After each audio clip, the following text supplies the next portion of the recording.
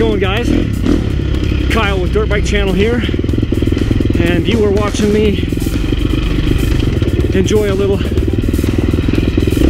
time here on the uh, 2016 KTM 350 XCF up here in the mountains on a little ATV trail.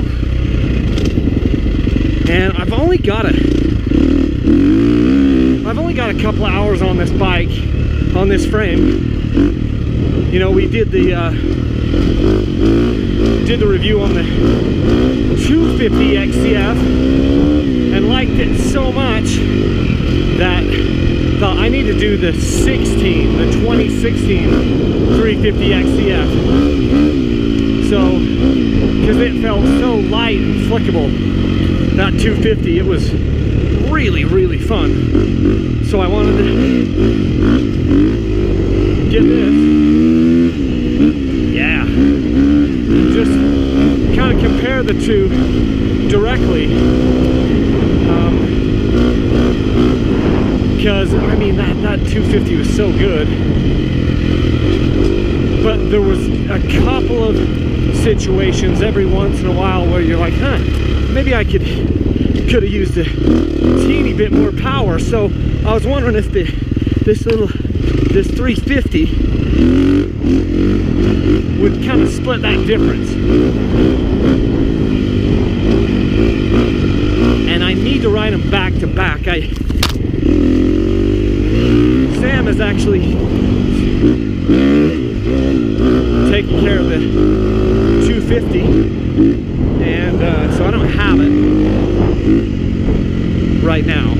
So I need to I need to ride them back to back and just see if that 250 really does feel a lot lighter. Like in my head, it seems like it seems like it feels more like nimble. I don't know. Yeah. Very loose.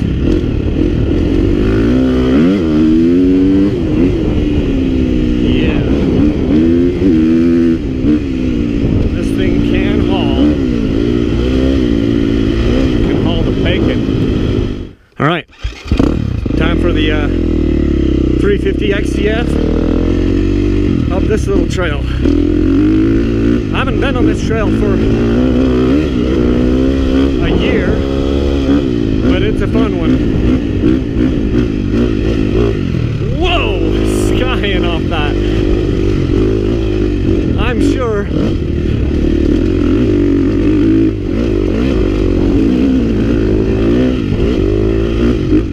I'm sure you can't tell there's any air happening here at all. But some of these, we're actually getting some pretty good air. I mean, not for a motocross track, but for just a, an ATV trail.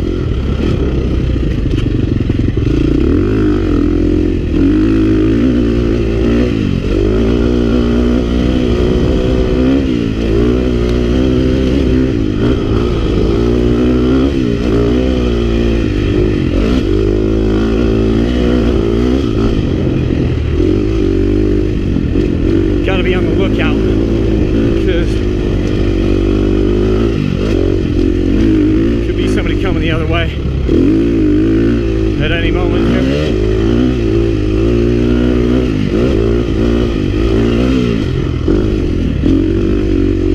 Popping off all these. This thing's much funner to do going up.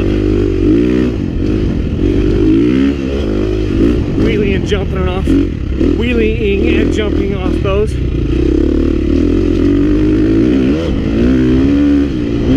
Yeah, the old 350 here is like a lion. This thing just wants to roar. It's a fun, fun bike. All in all, it's, I mean, this one, I think is the most versatile of the four strokes that I've ridden between the two 250s that I've been testing and the 450s I've been riding, this 350 just kind of, for me, seems to strike the perfect four-stroke chord. You know, that obviously is coming from a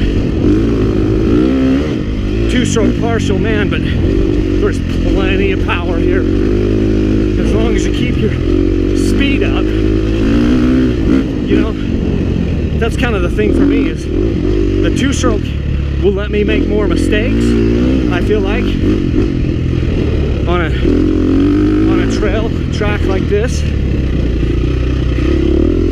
I know that's you guys think that's weird because they would say, well, four-stroke will make you he make you let you make more mistakes. Well, a 450 might make you let you make more mistakes as far as on the gearing, hitting the right gear or the wrong gear.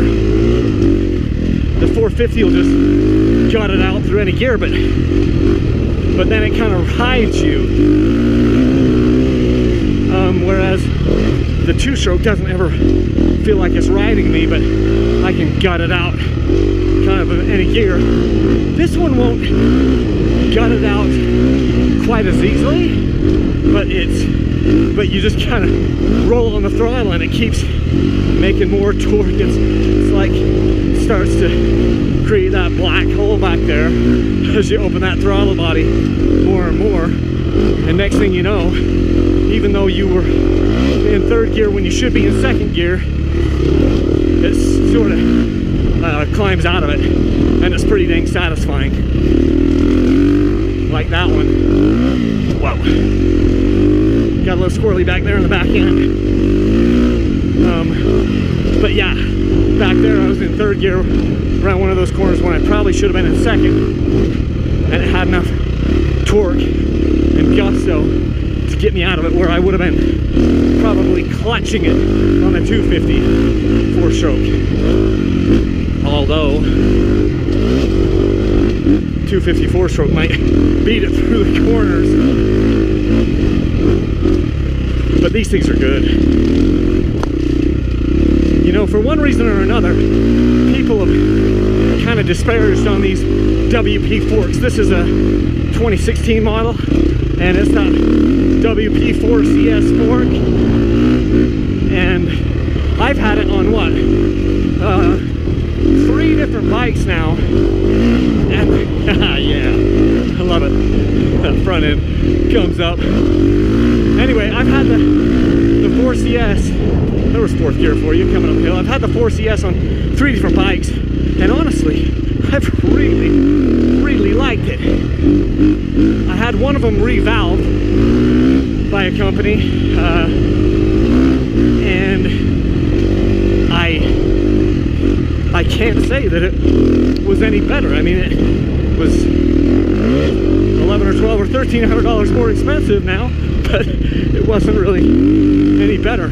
But then again, I didn't, well, I didn't have any problems with it. See, I clutched it there, almost lost the rear end because I feathered the clutch a little bit and dumped it, and then my rear end just lit up, and that thing almost went under, out from under me. Lost traction, but yeah, I like the, I like the sinking 4CS little creek crossing here. See, there was a there was a rock in there that I didn't, I kind of hit oblong. And a lot of guys would say, oh, it deflects off that. It just, it kind of deflected just a little bit, but not enough to give me any problems. And I, you know, just came through it. So, I mean, no complaints from me on the old WP. Today's rider spotlight is Chris Bauer. You see him right here in the red hat. He rides in California with his riding buddies, shown in this picture, and uh, they tear up the trails all over the place in California. He's got this KDX 200, and he is loving that little two-stroke and uh, riding it every Sunday. Thanks for sending it in, Chris.